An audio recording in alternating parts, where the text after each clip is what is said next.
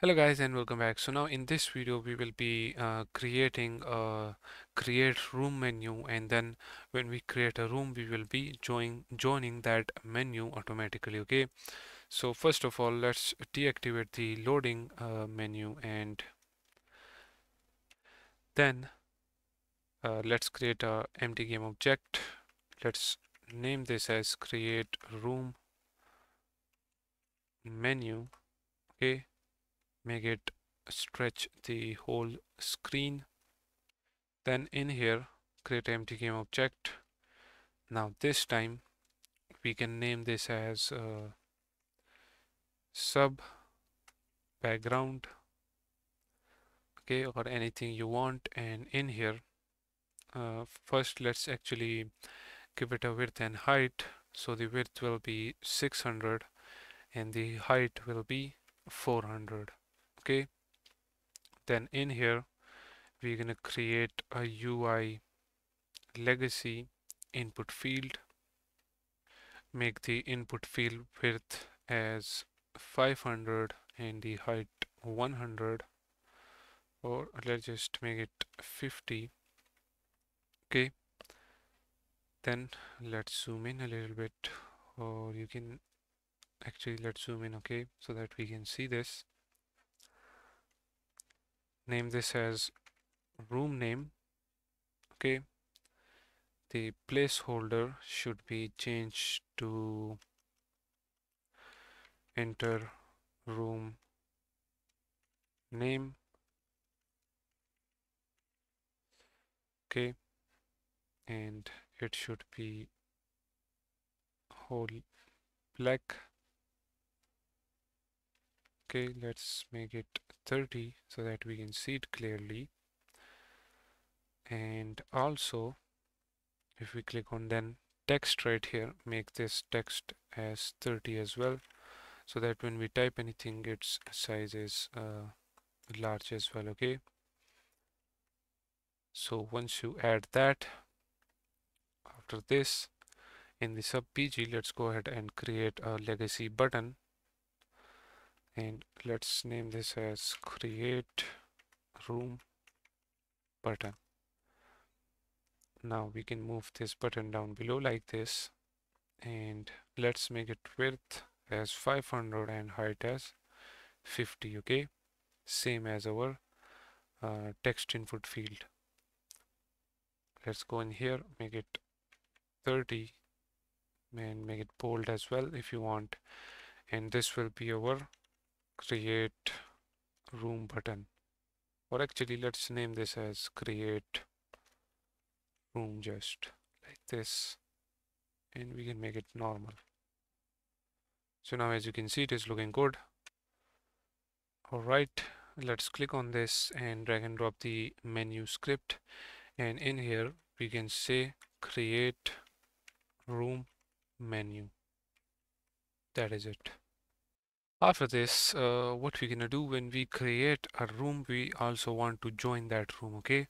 So we will be creating a UI for that as well. So let me now in the canvas create another empty game object by the name of room menu, okay? In the room menu, we will be showing the room name and which players are in that room, you're going to show that player username and then a start and leave button so that the player can start the game or either leave the game. Okay.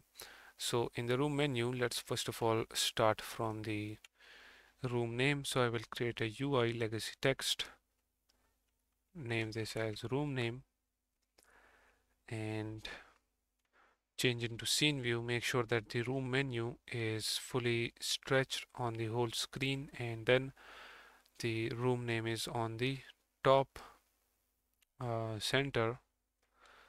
Right here just simply type room name make it uh, 50 and bold okay? And let's change its width to uh, 300 by let's just say actually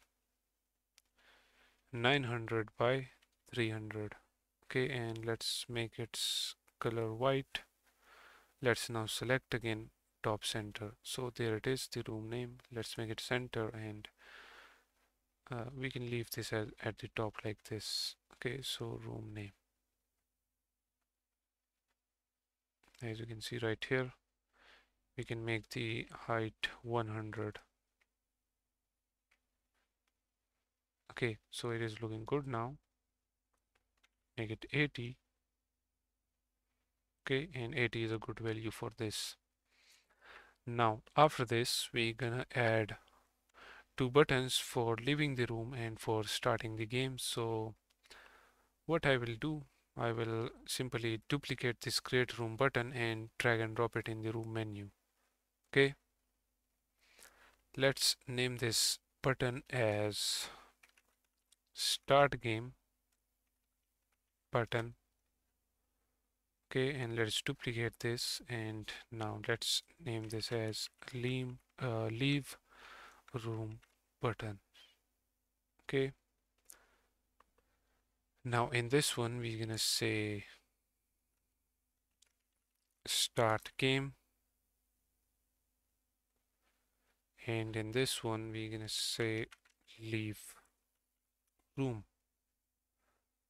Okay let's move uh, actually let's move both uh, of the buttons to the bottom center right there.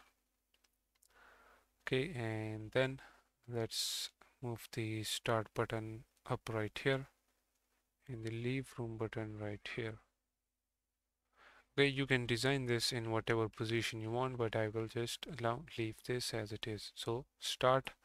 Game and leave room.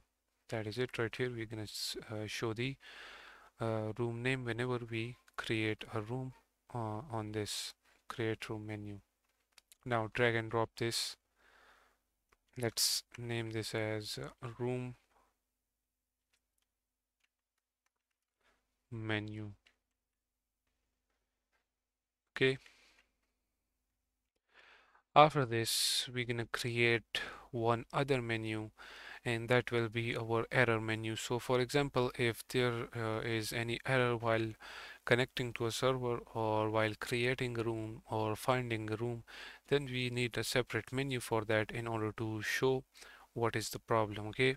So what I'm gonna do right here is I'm gonna duplicate this room menu okay enable it change its name to error menu okay?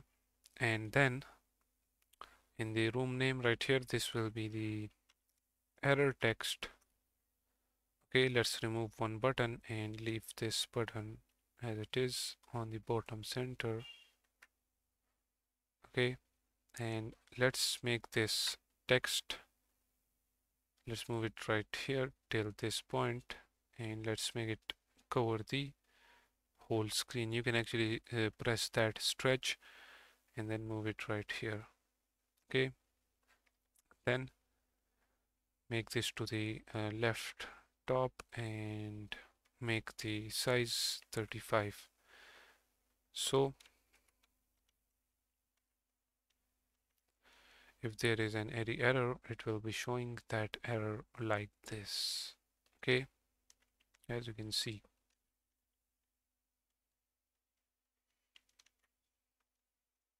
for now just type no errors and right here change this to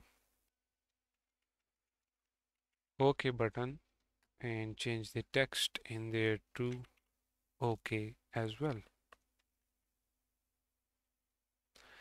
And on this one now we're going to name this as error menu. Okay, we can now close that as well. So now all of our menus are set up. We can enable the loading menu again. And I don't want this video to be more lengthy just like our previous one. So I'm gonna end this one right here. And in the next one we're gonna continue our work on this one. Okay? We will create a room show that room. And if there are any errors we're gonna show that errors as well